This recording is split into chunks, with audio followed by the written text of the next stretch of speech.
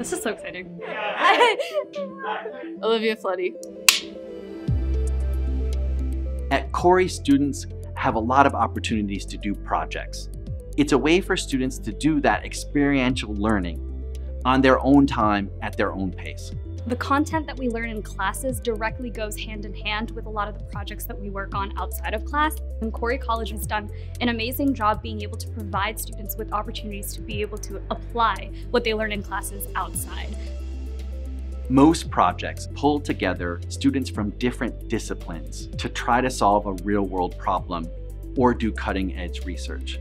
Projects give an opportunity for students to work on their passion, tying their computer science, cybersecurity, and data science skills into other areas outside of Khoury. The project was called Snowball, and we found an open source data set. This was our first opportunity to really just look at the data, find something that we might find interesting, create a question from that interest, and then solve it. It was a wonderful opportunity to gain experience working on something for the first time that I was really passionate about with other people who also could teach me things.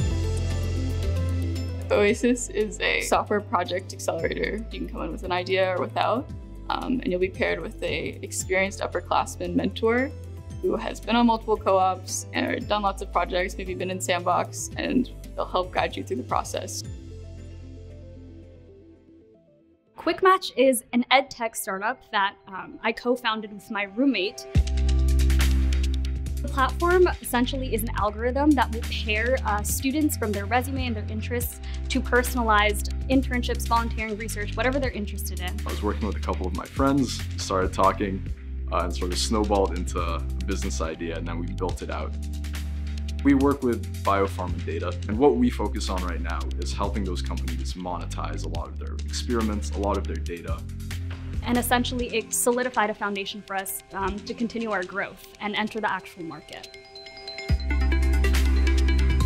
Any interview you have, they're going to want to see projects you've done. They're going to want to get a sense of your experience.